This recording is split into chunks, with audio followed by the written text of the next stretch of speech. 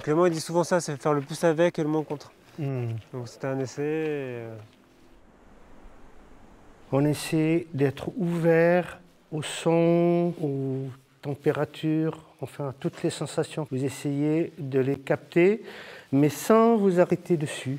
C'est comme si vous faisiez un scan léger de tout ça, tout ce qui se passe, tout ce qui vous arrive, de manière à amplifier votre présence, la sensation de votre présence.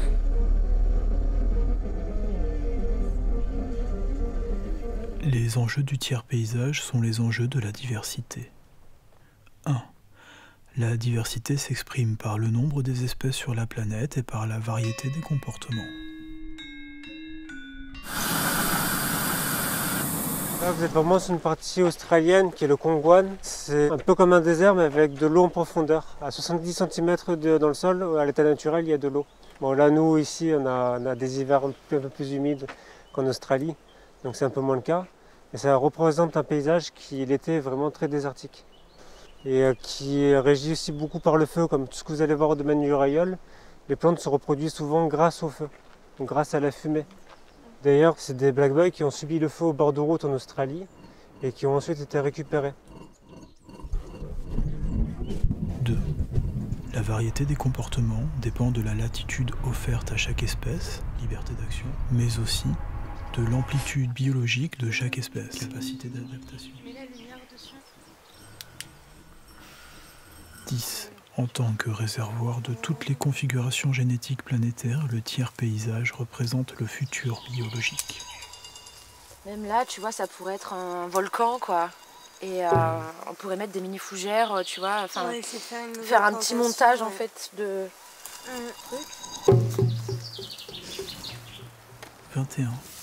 Les pratiques d'exploitation planétaire agissent sur les substrats eau, air. Elles modifient les capacités biologiques en les altérant. Elles diminuent les performances du moteur biologique en proportion de l'énergie contraire déployée pour exploiter. Tu vois, imperceptiblement, il y a des choses qui changent. Tu le vois ou pas? C'est compliqué parce que c'est pas comme nos yeux qui se déplacent. Donc je sais pas, c'est pas comme si je fais ça, on verra grand chose. Si je l'incline plus par là. Ou au contraire par là-bas. En fait, je sais pas trop ce qu'on voit. Le même genre de décor, qu'est-ce qu'il y a derrière? Ah, on a l'impression d'être une statue. C'est beau dans mon téléphone, ça fait des espèces d'arc-en-ciel. On dirait que tu tiens des boules de lumière, genre euh, un peu en, en mode effets spéciaux. Là, il y a les feuillages qui est, euh, on va dire, classique, avec les baies rouges. Et dans la loupe, ça fait que des traits colorés. Comme si on avait étalé la couleur au pinceau, en fait. La loupe déforme complètement euh, l'image. Là, par exemple, j'ai un côté qui peut paraître très net, mais qui est vachement lointain de l'arbre buste qui est juste en dessous. Et euh, mais c'est vraiment juste un fragment sur la loupe. Après, c'est que des traits colorés de vert. C'est un joli caméléo de vert avec un petit peu de rouge. «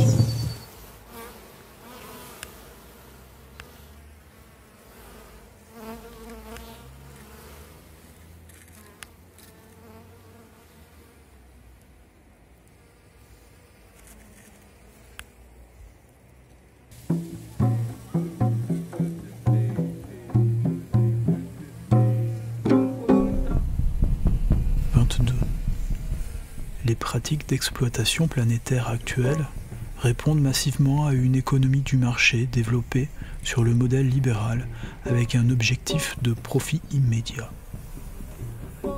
23. L'économie de marché développée sur ce mode augmente la quantité des produits de consommation, implique un accroissement toujours plus grand des consommateurs. Non mais attends, c'est beau là.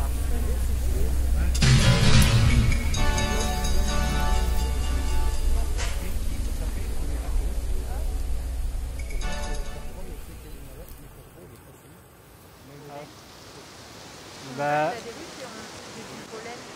Oui, mais les, euh, les abeilles ne sont pas attirées par le pollen. Elles, sont- elles viennent chercher du nectar pour se nourrir. Et elles sont attirées par des UV qui sont présents sur les fleurs. Ça, ça leur donne de, de chemin d'accès. En fait, elles voient les UV. Elles sont attirées plus par le jaune aussi, mais c'est surtout des UV. C'est des couleurs Bah, il y, a y le jaune qui ressort beaucoup plus. Mais quand on regarde certaines, par exemple, euh, des plantes assez communes comme le gazania, quand on le regarde aux UV, en fait, c'est des- plein de, de micro-rayons euh, qui ressortent à l'ultraviolet. Et ça, des fois, même sur certaines plantes qui, euh, qui ont un peu comme des gueules de loup, euh, il y a, ça fait carrément une piste. En fait, ça montre l'accès euh, directement au nectar. quoi. Même, par exemple, le nectar de Crix. 24. La pérennité du tiers paysage, de la diversité, du futur biologique est liée au nombre d'humains et surtout aux pratiques mises en œuvre par ce nombre. J'en ai fait une, j'ai fait la lavande, c'est super long. Là, j'ai presque fini la feuille. J'en ai fait deux. Je peux la mettre dans l'arbre après. La lavande, franchement, c'est bluffant, on voit pas. Quand je la mets. Elle non plus, ceci dit. Après, je vais faire la machine à coudre et ça va être un deux. J'ai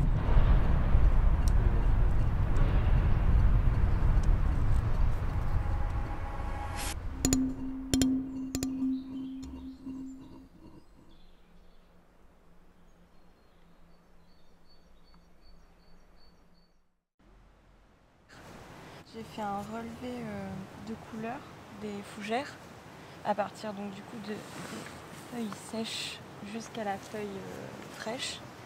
Et en fait j'essaie de les reproduire avec la trame du tissu sur un tissu vert en fait, essayer de faire un dégradé un petit peu de, sorte de camouflage. Et donc euh, le tissu me sert de, de pochoir.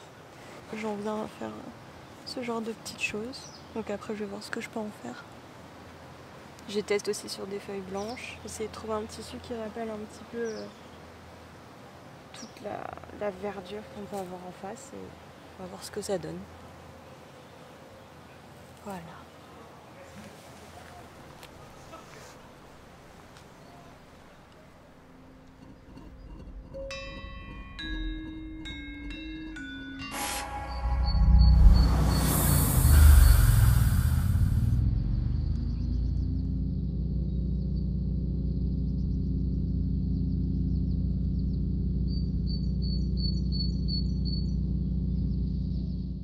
Deux, Il couvre l'ensemble des écosystèmes capables d'assurer le maintien d'une diversité. 3. Une forêt constitue un écosystème. Un lichen constitue un écosystème. Un rivage, une écorce, une montagne, un rocher, un nuage.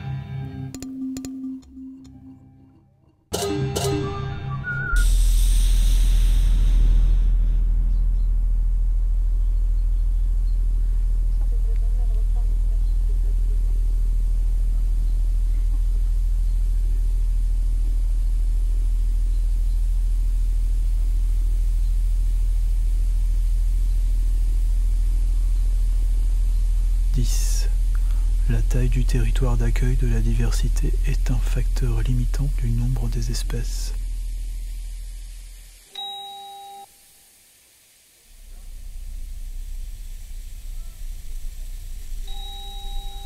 11. Les limites, interfaces, canopées, lisières, orées, bordures constituent en soi des épaisseurs biologiques. Leur richesse est souvent supérieure à celle des milieux qu'elles séparent.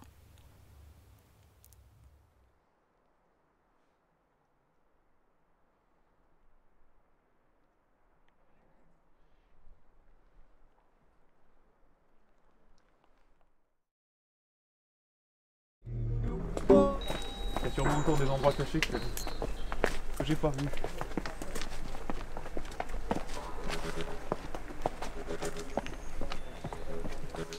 Ce qui fait de là, ici là, c'est euh, le, le scotch qui est pris, euh, qui est pris en étau en fait. Qui, euh, à chaque, chaque couche va, va donner une, une couleur différente parce que ça doit donner une, une inclinaison à la lumière qui fait que ça passe par, par, certains, par certains pixels et pas d'autres. en fait.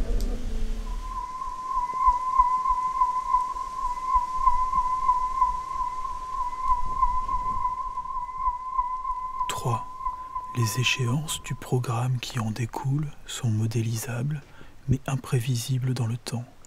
Il est possible d'approcher les termes de l'évolution, friche jeune, friche armée, pré-pelouse, pelouse stable, tourbière ouverte, tourbière fermée, etc. Mais il n'est pas possible d'en fixer le calendrier avec précision ni la forme exacte.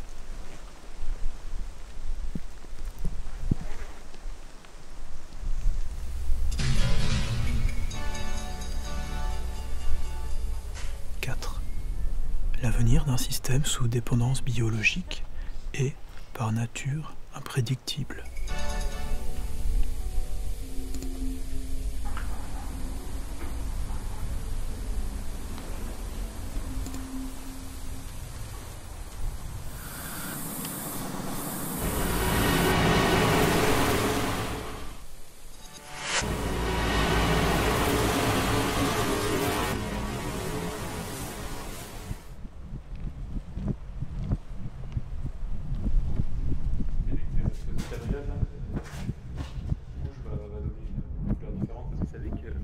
Grand eucalyptus du monde s'appelle Centurion et il mesure, je crois, 114 mètres, mais c'est peut-être 111.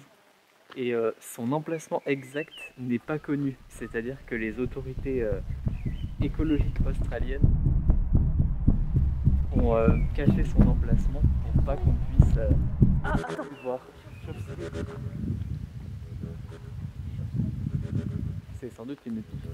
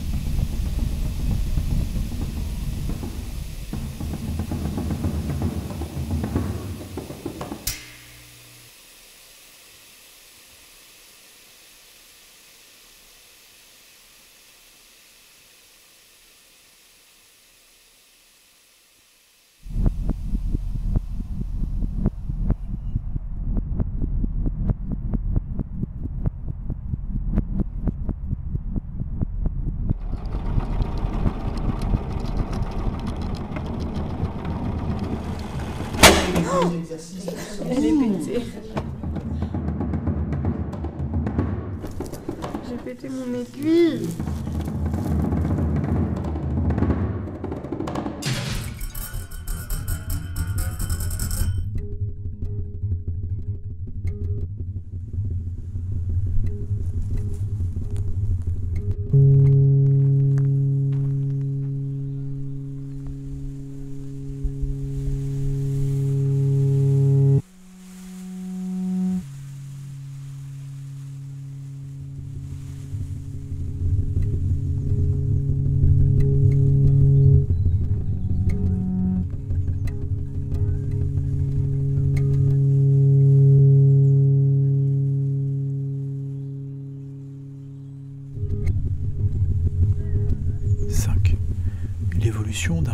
Sous dépendance biologique ne répond pas à un programme calendaire établi, mais aux nécessités d'ajustement au milieu. C'est un petit concours de circonstances encore, hein. c'est le fait d'être dans cet environnement-là, d'avoir été gêné par ce tuyau d'arrosage finalement, euh, qui m'a voilà, euh, qui m'a motivé à essayer de le camoufler finalement. Et le camoufler avec quelque chose de très visible. C'est plus euh, de l'ordre de camouflage razzle dazzle que euh, du camouflage de fondre euh, la forme dans le fond. Mm. Voilà. C'était l'idée de créer une disruption déjà dans le paysage et aussi dans ces différents éléments, parce qu'on ne voit pas de là, mais ces différents éléments juxtaposés les uns avec les autres. 6. L'urgence d'un système biologique n'est pas d'obtenir un résultat, mais d'organiser pour lui des chances d'existence.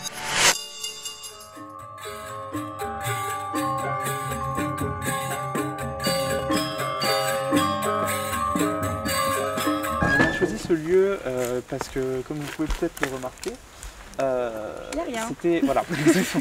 non, c'était vraiment un lieu complètement mort avec juste euh, des, restes, des restes d'arbres, beaucoup de feuilles mortes, des, morceaux de bois un peu partout.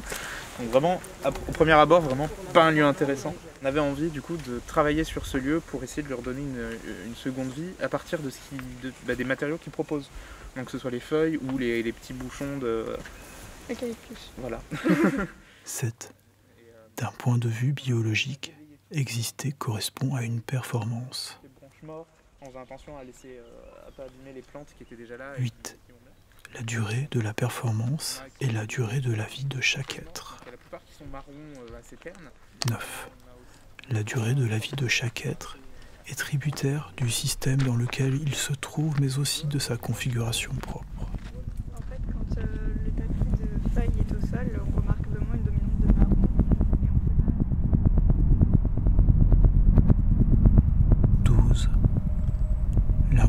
Des systèmes biologiques est un gage de résistance au temps. Donc je fais des, euh, des fleurs artificielles avec du tissu et, euh, et, je voudrais les camoufler dans le jardin pour interpeller euh, les gens et peut-être travailler avec les pollinisateurs aussi en les attirant à l'aide de miel et de pollen. 13. Tandis que l'évolution constante présente un risque d'effondrement, L'évolution inconstante se déploie sans hiatus par rétablissement successif.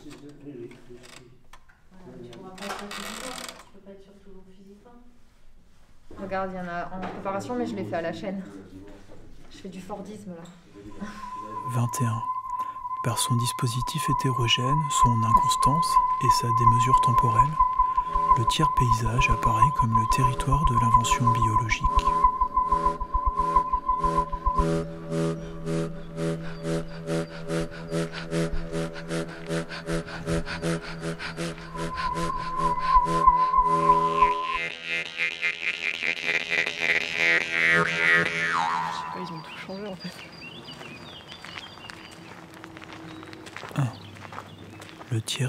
Peut être considéré comme le fragment partagé d'une conscience collective, à condition de situer le partage au sein d'une même culture.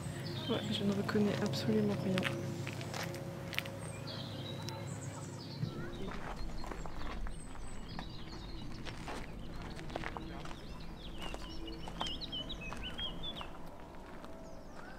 Euh, j'ai trouvé une photo de moi d'il y a 20 ans, quand j'étais petite, dans ce jardin, et j'avais pas capté que j'étais venue quand j'étais petite. Et c'est en me promenant dans les cactés que je me suis souvenu que j'étais venue. Et en fait, j'aimerais bien essayer de retrouver à peu près l'endroit. Bah ça, c'est les yuccas qui sont juste là. Ça, c'est un cèdre qui est mort. Donc en fait, ça doit être à l'angle... Euh, c'est sûr que c'est dans la rocaille? Ouais, c'est possible. Je pense que c'est ça. Qu'il y a des plantes qui sont euh, subtropicales dedans et d'autres qui sont méditerranéennes. 2. Euh, Le tiers paysage apparaît culturellement en référence au territoire organisé et par opposition à lui. 3. La figure d'un territoire organisé varie selon les cultures. Qui se décuple en deux, du coup qui fait une grande force. Oui, voilà, en fait, euh, on est vraiment au confluent du, au, confluent, donc ça, donne en fait cet aspect euh, très énigmatique et qui ponctue en fait vraiment le, l'espace. Et euh, ce que j'ai remarqué en, déambulant un peu plus dans le jardin, c'est qu'il y avait vraiment, euh, il y en avait vraiment euh, de toutes parts en fait. Et c'est un peu comme si on avait cette espèce d'invitation à entrer dans cet endroit.